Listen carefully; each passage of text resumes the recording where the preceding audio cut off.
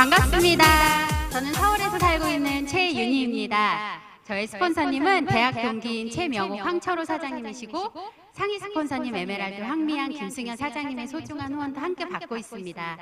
전직은 사회복지사고요. 지금은 아메이를 전업으로 하면서 아메이를 통해서 평생 하고 싶은 거 하면서 자유롭게 살 수 있겠다는 믿음과 확신이 생겼어요. 그래서 아메이 사업 즐겁고 재밌게 하고 있습니다. 오늘 제가 준비한 내용은 저의 Y 아메이와 고 A65 도전입니다. 예, 그, 어, 1번이 매일 저는 사실 설레는 삶을 사는 게 제 꿈이었어요. 그 여러분 예전에 연애하셨을 때 그 설레던 감정 기억하시죠? 네. 예, 기억하실 거예요 아마.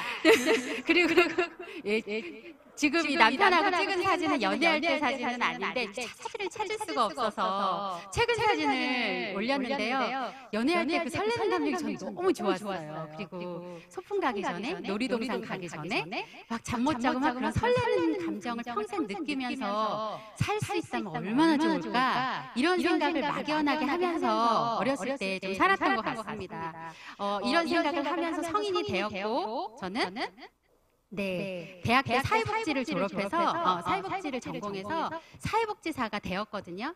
한 17년 정도 사회복지사로 일을 했고요. 어, 모금 활동을 하는 기관에서도 일을 했었고 종합사회복지관 그리고 주민들의 자활을 지원하는 센터에서도 일을 했어요. 근데 여기에 이제 올라온 사진은 제가 아메이를 하기 바로 직전에 한 5년 정도 프로젝트 사업으로 했었던 마을의 리더를 찾는 사업이었는데 저희는 이걸 주민 조직이라고 했어요.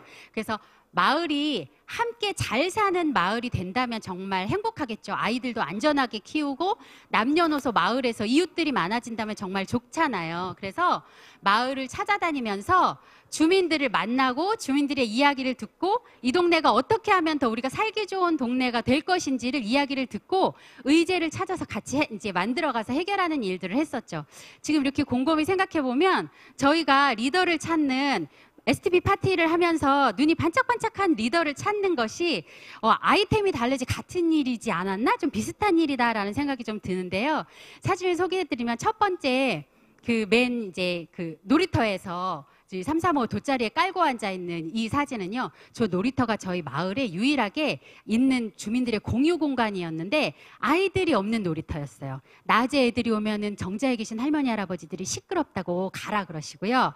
저녁에 오면 그 비행하는 언니 오빠들이 있어 갖고 무서워서 못 가고 그러니까 아이들은 놀 데가 없죠. 그래서 이 마을의 이 공간을 주민들에게 살려야 되겠다 그렇게 생각을 하고 모여서 같이 이곳에서 전도 부쳐 먹고 떡국도 끓여 먹고 같이 모여서 아는 이웃들을 많이 만들었던 그런 활동들이고요. 또 양말 인형은 이제 영유아를 키우는 엄마들이 모여서 이제 마을에서 같이 아이들을 키우고 소소한 소일거리 찾아서 해보기도 하는 여러 활동들도 했었죠.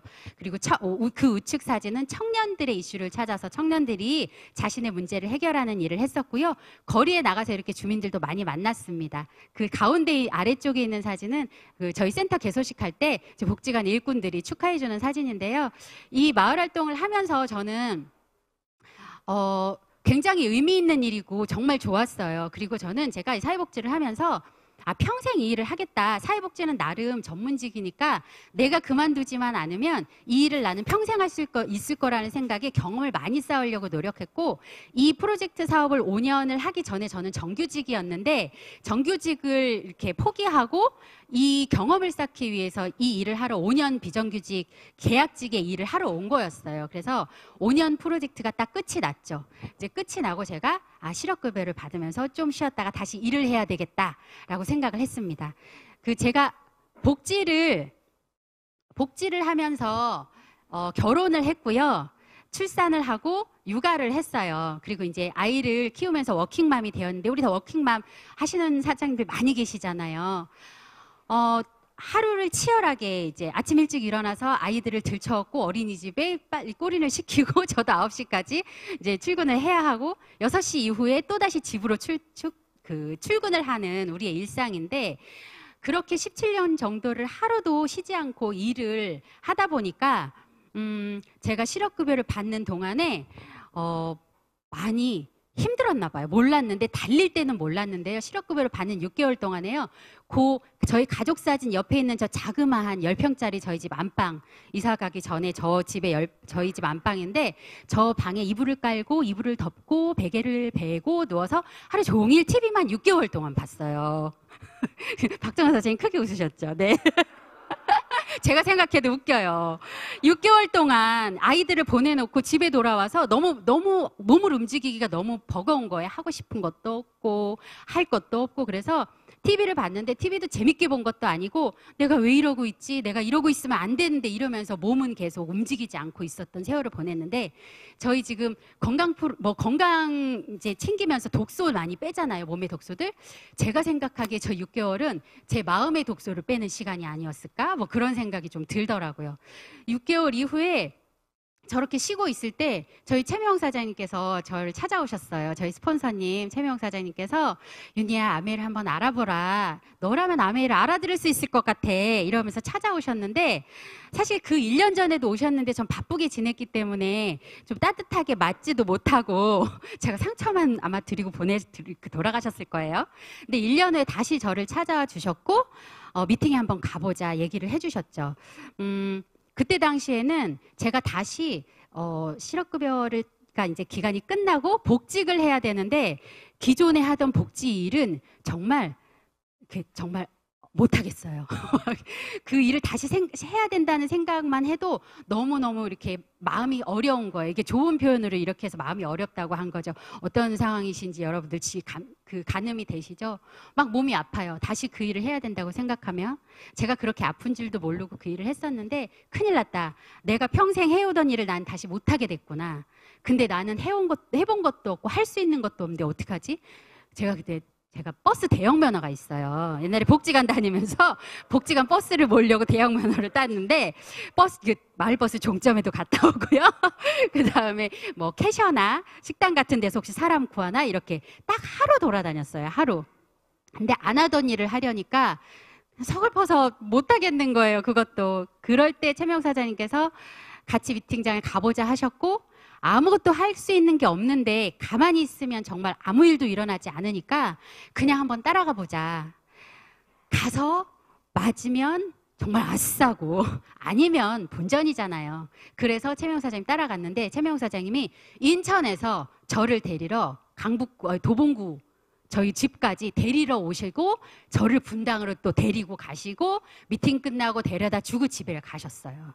그래서 저는 이제 집에서 일단 채용 사장이 온다고 했을 때 오지 말라는 말을 못 하겠는 거예요. 왜 오지 말라는 말을 못 했을지 모르겠는데 온다니까 어 알았어 그러고 있는데 그 저 아래쪽에 있는 저 빌라 허름한 사진이 저희 집 지금 샤시 공사할 때 제가 밖에서 찍어놓은 사진인데 바로 저 창문이 없는 저 샤시 공사하는 집이 저희 집이었거든요.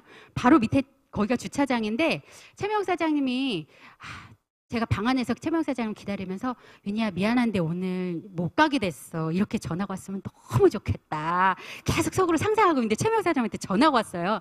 윤희야 1층이야 내려와 이러는 거예요. 그래갖고 기대가 어그러졌죠. 그래서 알았어 하면서 저 바로 한 층밖에 안 되는 데를 정말 다리가 막 10km 천근 만근 되는 느낌으로 걸어 내려갔던 기억이 나는데 그때쯤에 저에게 또 현실 점검을 완벽하게 하는 사, 어떤 일이 생겨요. 저희 사랑하는 엄마가 어, 뇌출혈로 수술을 받으셨어요. 처음 있었던 일이고 너무 놀랐는데 다행히 지금은 건강하게 후유증 없이 잘 지내시지만 사랑하는 엄마가 계속 엄마한테 저한테 하는 말씀이 엄마 보험 다 들어놨다 병원비는 걱정하지 않아도 돼. 이 얘기를 저한테 계속 해주시는데 저는 정말 엄마한테 한 푼도 돈을 못 보태드렸어요. 한 직장에서 17년을 일했는데 저의 통장에는 엄마 병원비 낼 돈도 없는 거예요. 너무 서글펐고 돈을 벌어야 되겠다. 그래서 아메를 해야 되겠다. 저 처음에 아메는 이제 좋은 의미로 일하는 거 말고 좋은 의미로 정말 다 같이 잘 사는 복지 말고 나부터 잘 사는 아메 해야 되겠다 생각하고 나왔거든요. 근데 결론적으로 말씀드리면 아메이아는 제가 복지하면서 추구했던 그 모든 가치들이 다 들어 있었고요. 그것을 뛰어넘어서 먹고 사는 문제까지 꿈을 이루는 것까지 다 해결되는 게 이 안에 다 들어 있었어요. 저는 정말 어, 정말 무한 감사죠. 저희 스폰서님께 감사하고 이렇게 멋진 시스템을 제가 들어올 수 있게 정말 리더, 아, 해주신 우리 리더 사장님들 스폰서님께 너무 감사드리죠. 그렇게 찾아갔던 아메이는요, 사실 아메이 선입견이 좀 있었어요. 최명 사장님이 저 찾아온다고 했을 때 큰일 났다, 큰일 났다. 최명 사장님이 오는 게 아니라 아메이가 온다 이렇게 생각했었는데 일단 따라갔는데 정말 너무 신기한 게 세상에 이렇게 친절하고 마음 따뜻한 분들이 여기 다 모여 있네 깜짝 놀랐어요.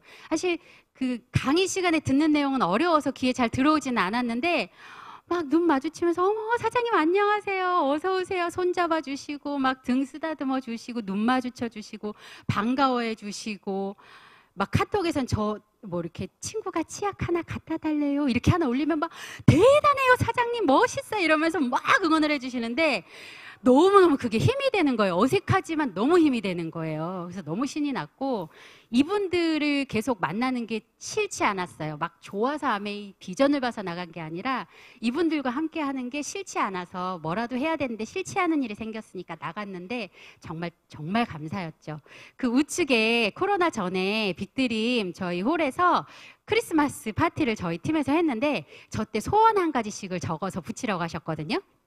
근데 제가 여기다 뭐라고 썼냐면 누가 나한테 윤희야 내가 밥 사줄게. 나하고 밥 먹자. 누가 이렇게 나한테 얘기해 줬으면 좋겠다. 이렇게 썼어요.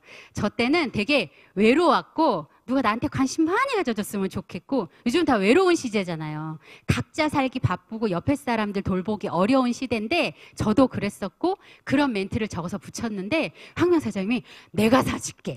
이렇게 저희 스폰서님이 내가 사줄게. 이렇게 하면서 밥을 엄청 많이 사주셨어요. 치유가 됐죠. 어, 이렇게 만난 아메이 싫지 않아서 그냥 사람들이 좋아서 나왔던 이 아메이에서 저는 정말 그 전 직장에서 최고의 전 직장에서 정말 잘 성장한 사회복지사가 되고 싶었는데요. 음, 잘 성장해서 멋지게 그, 자, 그 하고 싶었던 그것들이 잘 이루어지지 않았는데 이 아메이 안에서 정말 최고의 시스템에서 제가 멋지게 성장하는 걸 늘 경험하게 됩니다. 그 스폰서님께서 미, 미팅에 참석하는 원칙도 정말 열심히 지켰고요. 스폰서님께서 매주 저희 집에 오셔갖고 막 퇴근하고 오시고 하루 종일 저와 함께 시간을 보내주시고 홈미팅을 열어주시는데 아니 내가 뭐라고 이 귀한 분들이 나한테 와서 시간을 써주시지?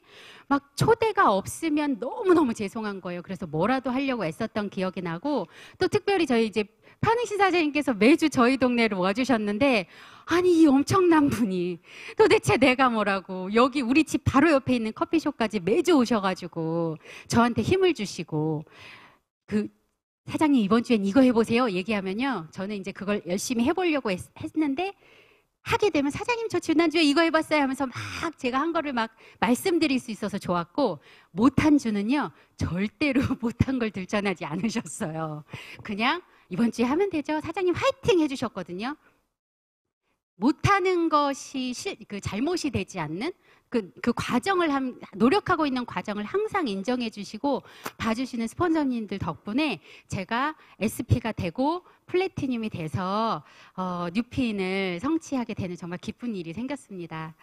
어, 여러분 앞쪽에 제가 그 여기 계신 사장님들이 너무 좋아서 나왔다고 한 그 동기가 저의 와이아메이 사업 초창기에 저의 와이아메이였어요. 저는 여기에 나와서 함께하는 분들이 너무 좋았고 이 긍정의 기운 안에 있는 게 너무 행복해서 저 나왔고요. 지금 Platinum이 된 지금은 또 다른 동기가 Why Amway가 생겼는데요.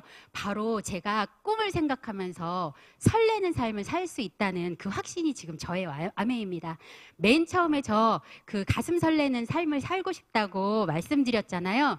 제 꿈이 지금 이루어진 거예요. 그래서 어제 이 PPT 자료를 만들면서 집에서 이렇게 리허설을 시간을 맞춰야 되니까 중얼중얼중얼 이렇게 해보고 있는데 이 꿈 얘기를 하는데 제가 막 저 혼자 녹음하면서 얘기하고 있는데 혼자 울컥해가지고요. 꿈이 사람을 이렇게 설레게 할 수 있구나. 꿈이 없는 줄 알았는데 이곳에서 숨어, 숨겨 있던 제 꿈을 다시 꺼냈고 그것을 하나하나 이루면서 지워가면서 또 새로 발견된 꿈을 찾아서 쓰면서 살 수 있다는 게 너무 감사하고 행복하고 지금은 아직은 노동 수입이지만 지금은 발로 뛰어야 내가 지금 벽돌을 쌓고 있는 집을 짓고 있는 과정이기 때문에 발로 뛰어야 수입이 되지만 저는 반드시 저를 이끌어 주시는 우리 스폰서님들처럼 멋진 라이프 스타일을 갖고 다이아몬드 이상의 삶을 살 거라고 반드시 확신합니다. 가장 소중한 가족을 지킬 수 있는 게 암웨이고요. 저 사람답게 살기 위하여 저것은요. 저는 하고 싶은 걸 하고 싶은 때에 내가 하고 싶 같이 있고 싶은 사람들과 언제든지 할 수 있는 그 자유가 사람답게 사는 거라고 생각하거든요. 저는 그 자유를 아메이 안에서 반드시 찾을 거고요. 어, 그 다음에는 이제 나누는 삶, 주변에 선한 영향력을 끼치면서 살고 싶어요. 어, 기존에도 많이 나누고 살았지만 아메이라는 이 엄청난 도구를 나눌 수 있다는 건 제가 꿈을 이루는데 더 큰 힘이 되는 것 같아요. 저렇게 크고 멋진 집에서 사는 것도 제 꿈이고 꿈노트에 저렇게 꿈을 소소한 것부터 적어가는 것도 열심히 하고 있습니다. 지금 가슴이 너무 두근두근거려요. 아메이를 통해서 저는요, 제 삶을 능동적으로 살아가는 사람이 됐고요. 받아서 외부에서 나를 채우려고 하는 사람에서 내가 이제 아내가 아내가 꽉 찼거든요. 이곳에서 그래서 누구한테 제가 저의 마음을 나눠주는 사람으로 변했습니다. 그리고 문제에 제 감정이 사로잡히지 않고요 해결에 집중하는데요. 우리 아메이가 미팅 1순위, 아메이가 제 인생의 1순위게 되라고 항상 말씀하셨잖아요. 삶에서 치고 들어오는 문제들이 빨리빨리 해결되지 않으면 1순위가 자꾸 바뀔 수 있겠더라고요. 그래서 문제가 딱 들어오면 옛날에 어, 어떡해, 아, 이거 어떡해. 막 속상하다, 화난다, 막 짜증난다, 막 이런 생각을 했는데 지금은 문제가 딱 들어오면 어, 이렇게 하고 저렇게 하고 이렇게 하고 오케이 오케이 이렇게 이렇게 하고 나는 오늘 미팅을 들어. 이게 이게 되더라고요. 오히려 문제가 더 빨리 해결되고 더 그러니까 가정도 평안하고 제가 집중하는 것도 잘 되는 것 같아요. 이것이 저의 이제 변화입니다. 저는 지중해 크루즈 여행을 지금 도전하고 있어요. 여기 계신 사장님들도 모두 마찬가지실 텐데, 어, 저는 지중해 크루즈 A60, 암웨이 65주년 기념에 저희의 두 명의 파트너 사장님과 지중해 여행을 반드시 가겠다는 목표를 가지고 뛰고 있습니다. 크루즈를 정말 평생 한번 타볼 수 있을까 말까 이 크루즈 여행을 가는 것도 좋지만 이것을 할 수 있는 상황이 되면 저는 얼마나 마음도 경제적으로도 풍요로워져 있을까 요? 그것이 너무 기대가 됩니다. 저희 지금 팀에서 3개월 동안 STP 파티 100에 도전을 하고 있는데요. 저는 이제 한 40명 정도 만났는데 왜 이 집중해서 3개월 동안 100명을 만나서 사업을 설명하고 하라고 하시는지 이제 조금 알 것 같아요. 정말 행동만이 살 길이고 제가 성장하니까 제 눈빛이 더 반짝거리고 그 다음에 만나는 분들은 저의 눈빛으로 인해서 더 힘을 받는 게 느껴지더라고요. 정말 반드시 6월, 6월 동안 6월까지 제가 100명이 반드시 성공해서 반드시 6명의 파트너 나온다고 하셨거든요. 믿고 가서 반드시 다이아몬드 성취하고 지중해 크루즈도 가도록 하겠습니다. 이제 마지막입니다. 아, 제가 예전에 OM을 들었을 때 어떤 사장님께서 현실 점검해 주실 때 지금 내가 하는 일이 나의 꿈을 이루어 줄 수 있는 일인가요? 지금 여러분이 하고 있는 일이 여러분의 꿈을 이루어 줄 수 있는 일인가요? 이렇게 질문을 던지셨는데 이때 뒤통수를 맞은 느낌이었어요. 어, 얼마를 벌면 좋겠다. 300을 벌면 좋겠다. 500을 벌면 좋겠다. 이런 생각은 했지만 내가 그 하고 있는 일이 꿈과 연결되어서 생각해 본 적이 없거든요. 근데 지금은 분명하게 명확하게 꿈에 제 초점을 맞추었고요.